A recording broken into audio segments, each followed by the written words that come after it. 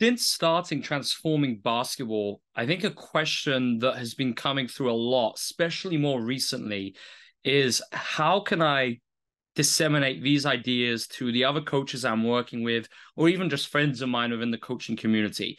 And, you know, it's not easy to go from, you know, not having an awareness of skill acquisition ideas to suddenly being confronted by terms such as dynamical systems theory and ecological psychology.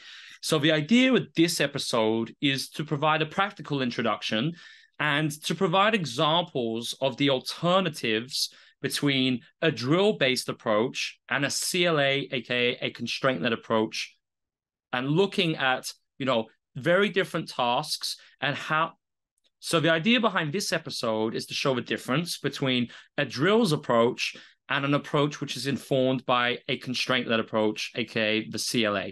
So what I'm going to do in this is it's going to be very short but very practical. I'm just going to, I've taken some very popular but traditional drills within the basketball world and I've I'm just going to raff and now I'm just going to improvise and give some examples as to how I could use the CLA to improve these. So we'll see how it goes. And I think this is a really good way to provide suggestions. So maybe if you're working with another coach who hasn't yet come across the CLA, well, you could use these ideas as suggestions to them. So maybe as opposed to running the three man weave, you could use some of the ideas that I provide you with in this episode. And just, you know, important to remember that everything we're doing, obviously, we're trying to move away from drill based coaching environments and instead creating more live environments based on effective constraint manipulation within small sided games. So let's begin with the classic, the three man weave. A lot of has been said about it. I don't want to add to that. I just want to give you the altern- give you the alternative.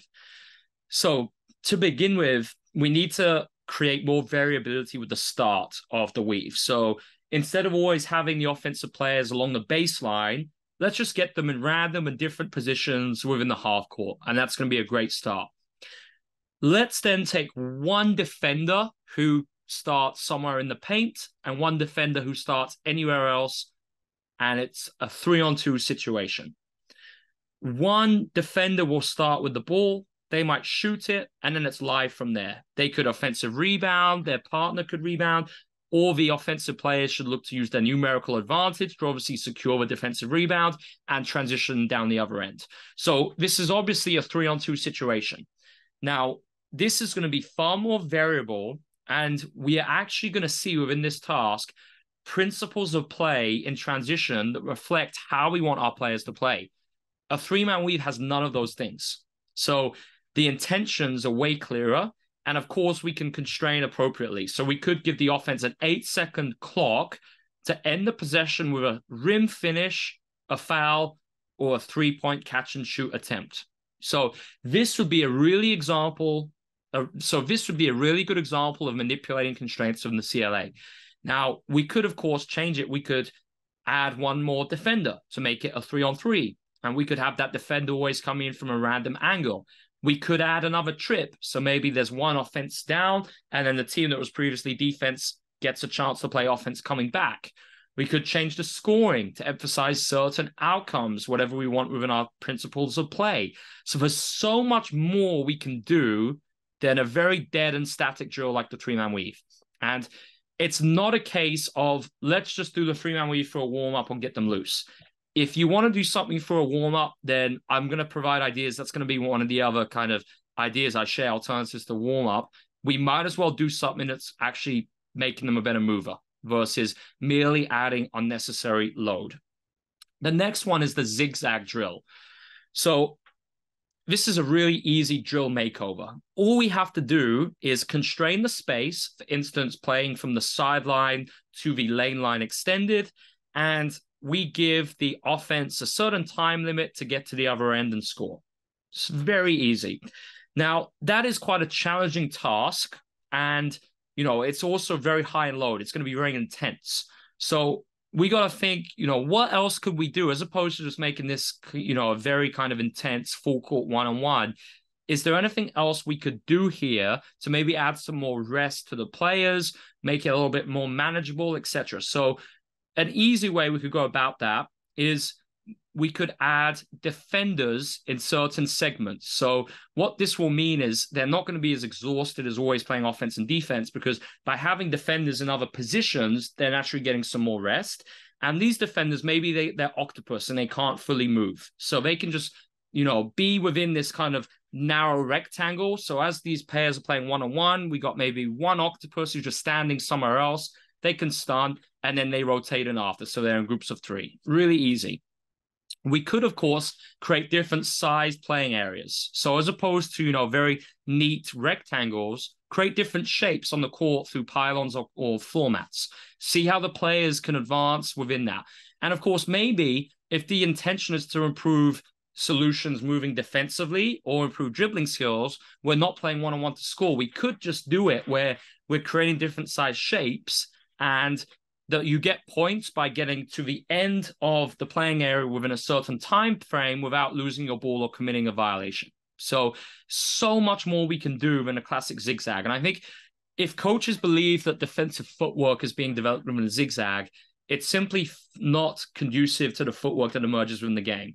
The defense will never wait for the offensive player to get to a location on the floor before turning and you know allowing them to dribble to a spot easily. It never happens. So instead, I would just do if you want to develop defensive footwork, do one on ones with the defense starting in a different position every time. So they're going to have to explore different footwork solutions to try and get back to neutral. So sometimes they could be a behind, side on. Sometimes they could be facing the basket. Sometimes they could be facing away from the basket. So a different starting position is going to afford a different movement solution every single rep.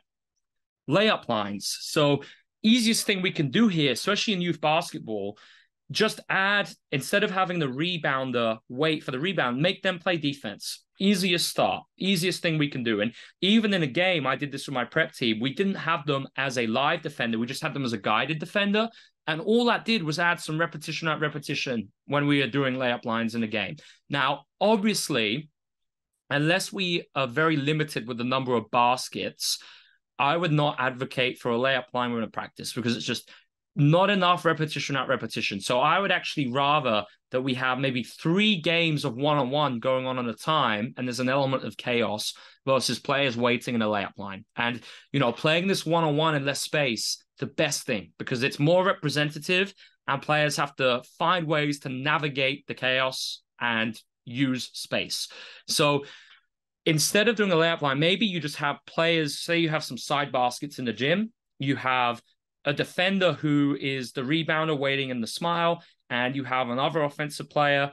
They drive, they have to score in the smile, coming from a different angle every time, not just the layup line angle. And that's our one on one. And then as soon as they finish, the next two go. And it's just constant, constant action, lots of repetition, but every rep is variable and slightly different. So, you know, any form of one on one that you create or any activity with a finishing focus is going to be far superior in your practice to layup lines.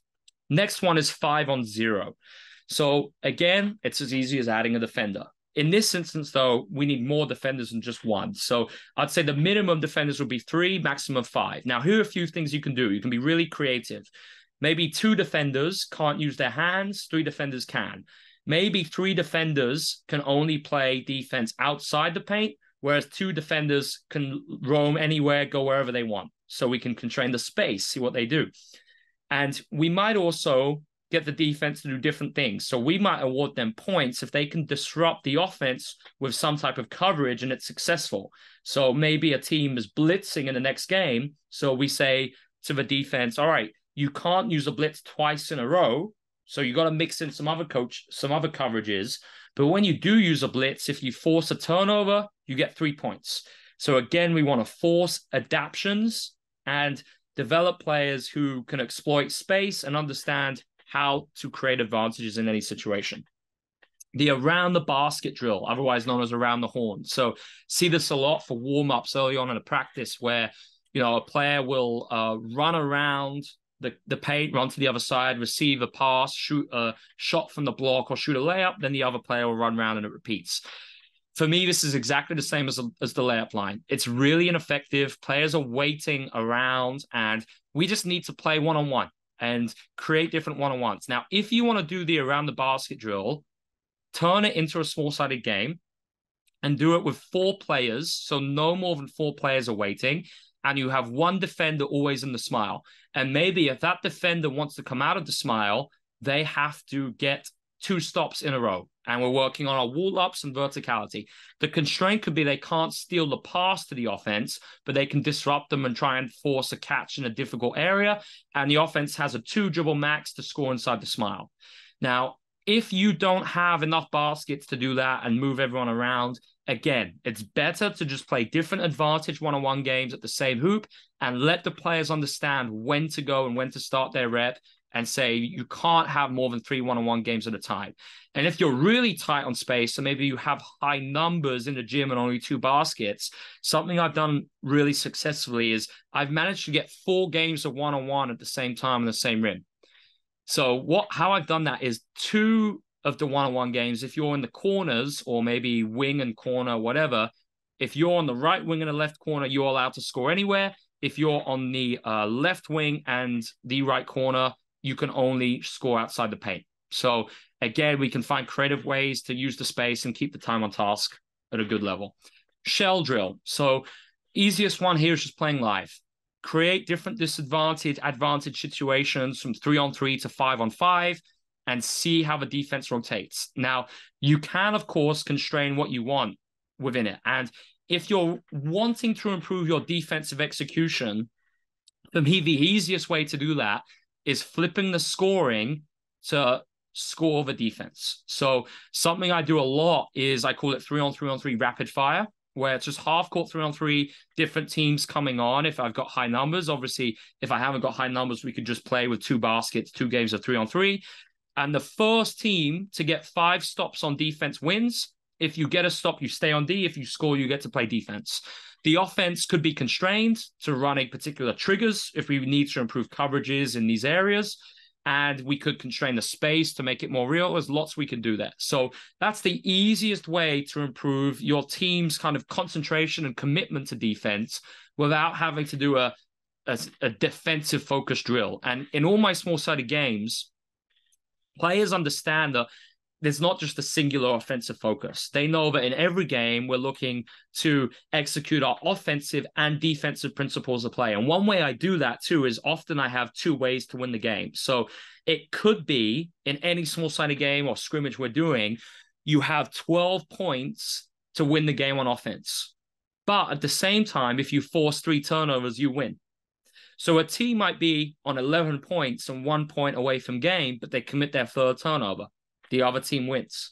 So again, all this takes is some creativity as the coach.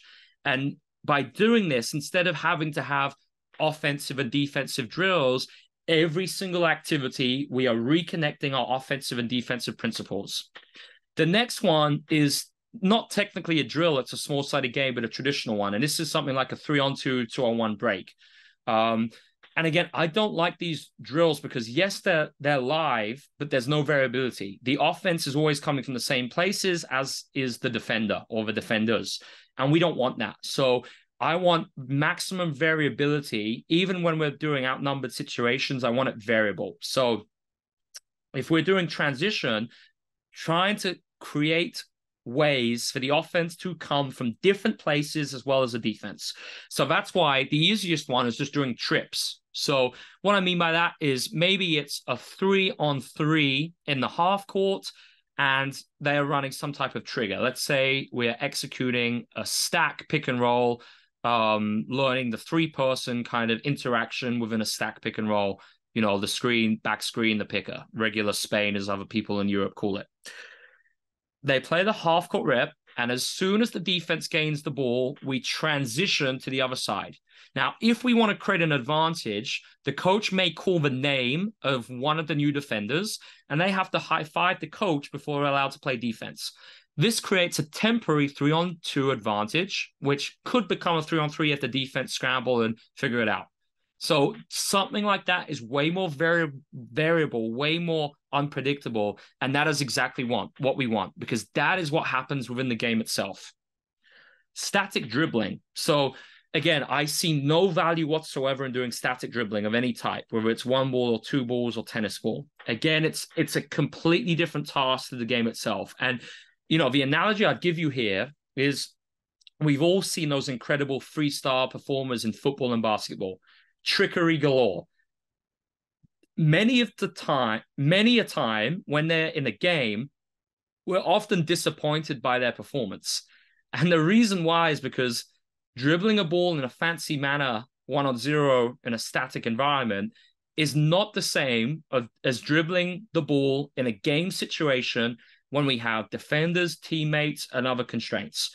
And that is what counts. So again, the biggest thing with me is efficiency. And I want players to feel like I really respect their time. And I would never do something on court that wastes time. I want every second to count. And that's why we just don't have time for it. So even if a player wants some confidence, let's make it variable and let's have a guided defender who sometimes might try and steal the ball.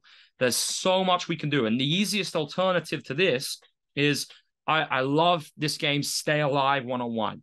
But the offense has to handle pressure for five seconds in a small area, and the defense has to try and steal the ball after the five seconds, if they stay alive, the player gets to shoot. It could either be a three if we're constraining it or just a normal one on one. So, so much we can do there.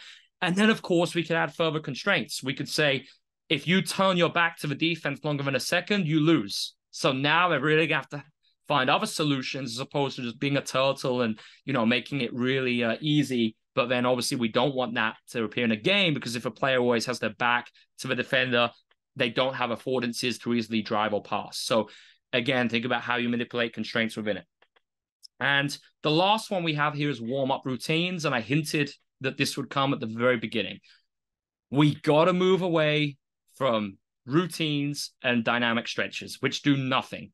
So instead, let's open up the degrees of freedom. Let's play tag games. Let's even maybe play touch American football. Let's even play soccer, football, and say that the defenders cannot tackle, but the offensive player only has three seconds on the ball to dribble, pass, or shoot. So then they can steal the ball through interceptions, you know, all of that. There's so much we can do in a warm up. And, you know, if we are resorting to merely doing dynamic stretches, it's just not a good way to start practice. It, it doesn't create any kind of engagement or joy within that practice environment. And, you know, anytime we have a more alive warm up task, you will notice an incredible def- you will notice an incredible difference when you start practice with your first activity. The engagement levels, the fun, it's going to be through the roof. So that's it for today. A very practical podcast on drill makeovers and how we can apply a CLA to some of the most traditional activities in the basketball world.